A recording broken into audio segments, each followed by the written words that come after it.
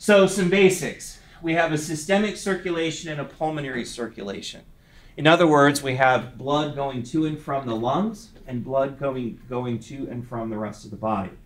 They are a parallel circuit. All the blood goes to the lungs, then all the blood goes to the circulation and or systemic circulation and round and round. Okay, so some characteristics of those circulations. Arteries are the high pressure um, highways from uh, uh, heart out to the body. Okay, so they have thick, strong walls. Blood flow tends to be quite brisk, and pressures are quite high. Okay, so that's your arteries. Big, strong pipes conducting blood quickly. Arterioles are the last branches of the arterial system. So arteries branch and get smaller, and they get smaller still. Eventually, they are just smaller, just a tiny bit bigger than a capillary bed. That's an arteriole. Okay. Now, arterioles, because they're small, they have a fair bit of smooth muscle that's wrapped around them. So, arterioles have very careful and strong control of their size, right? So, vasodilation is vessels getting bigger, vasoconstriction is vessels getting smaller. Arterioles can change size quite dramatically and they do so under uh, heavy control by the sympathetic nervous system, as well as um, their own autonomous control, which we'll talk about that as well. So it means that the arterioles, the last branch of the arterial system, become the primary source of what we call uh, total peripheral resistance.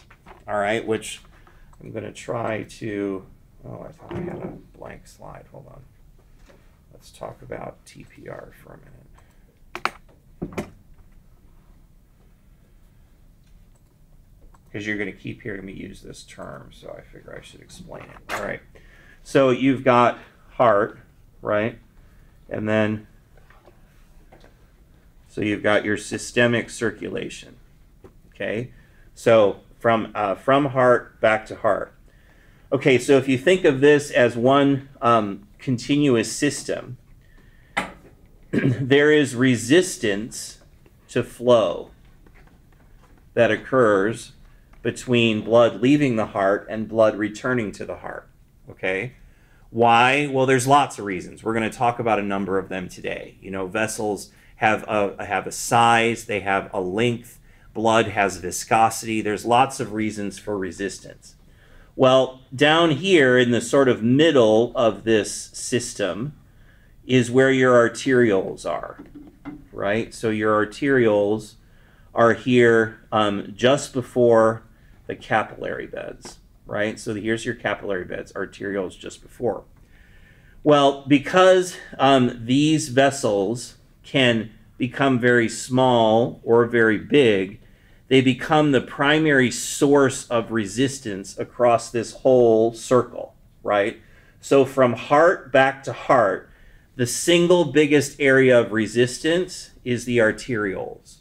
All right? So we call them resistance vessels, and they create what's called the total peripheral resistance. How much resistance to blood flow is there in the whole circuit? Okay, so we're going to talk about TPR a number of other ways, but that's my introduction. So TPR, resistance in the circuit, mostly created by arterioles. This isn't a static system. Arterioles get bigger and smaller all the time for a variety of different reasons. So it means that the resistance to blood flow changes according to what the body's needs are. All right, so that's the arterioles. The capillaries, their uh, claim to fame or their biggest job is they are very tiny, just big enough for a single red blood cell to squeeze through.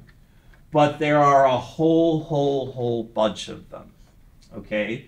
So many, in fact, that never do we have all of our capillary beds open. And in fact, if we did, we would need to be in the ICU on pressors. Okay? So we have many more capillary beds than we ever use at once. This makes perfect sense though, because we never use all of our tissues to the maximum at any given time all at once, right? So where blood is flowing at any point in time is as much about how busy that tissue is as it is about the number of capillaries. So capillaries are tiny vessels that have a huge surface area. They're diffusion vessels. You know, I said in our first session together that diffusion is how most things move around in the body. Well, capillary beds, because they have a huge surface area, they're a great site for the diffusion based exchange of nutrients and waste products, right? Nutrients um, go into the tissues, waste products come out of the tissues. The source and receiver of both of those are the capillaries. Okay, capillaries come back together to form slightly smaller vessels called venules. Venules empty the capillary beds.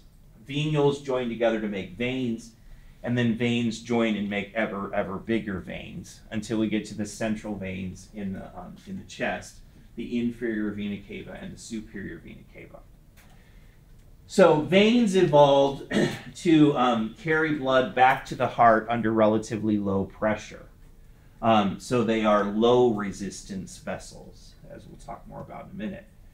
Now, the vein system, one uh, that or a, a, point of struggle students often have, is the vein venous system isn't static. It changes size. Okay, just like arteries and arterioles can get smaller and bigger, to change their resistance. Veins get smaller and bigger to change their capacitance. In other words, to change how much volume they hold. So, like when we're nice and relaxed, when we're sleeping at night, our veins are kind of big and full because we don't need a lot of cardiac output. We're not sending a bunch of blood to our skeletal muscles. But when we get up and we start our morning run, um, well, we need more circulating volume. Where does it come from? The veins get smaller, and that pushes more blood into the arterial system and into the active circulation. So we call that, I call that venoconstriction. Um, and you'll, I will point that out at a number of key points uh, as we build up our circulatory system and its regulation. Okay, so those are the major players arteries, arterioles, capillaries, venules, and veins, and they each have their characteristics as we'll get into. All right. so if we look at the circulation in terms of volume, okay, so in other, it's a, it's a, um, it's a system of tubes, of pipes, right? Pipes have a volume, so we can look at where is the blood in our system at any given time, right? Well, ultimately, the amount of blood in the heart plus the amount of blood in the lungs and the systemic circulation, that's all of our blood, right? So that's 100% of our uh, plasma volume. So at any given time, we can see about 7% of the blood is in the heart, 9% is in the circulation, 84%, or it's 9% in the lungs, pulmonary, 84% in the systemic circulation. Um, what does that tell us? It tells us uh, that there's much more space in the systemic circulation than there is in any other part. So at any given time, most of our plasma volume is in there. So much more blood in the systemic than in the pulmonary. Now, if we look at arteries versus veins, arteries, the high pressure side of the system has a much smaller volume than the low pressure venous side of the system. So two thirds of the blood at any given time is in the venous system, which means only a third of it is in the pulmonary system. Why does that matter? Because it means even a small change in the volume of the veins makes a big change in how much blood is moving through the arterial side of the system. That's that venoconstriction again. If we make the 64% 60%, all right, well, we've increased the amount of blood in the arterial system by 4%, by 25% of where it was. So big change. Small change in venous volume makes a large change in um, uh, amount of blood in the arterial side. So that's venoconstriction.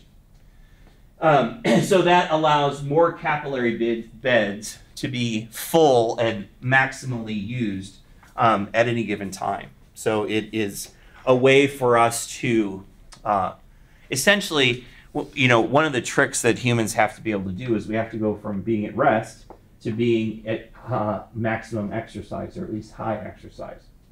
How do we do that? This is one of the ways. We mobilize our blood. We take blood that's kind of sitting there in the veins and we push it into the arterial circulation so we get a stronger cardiac output.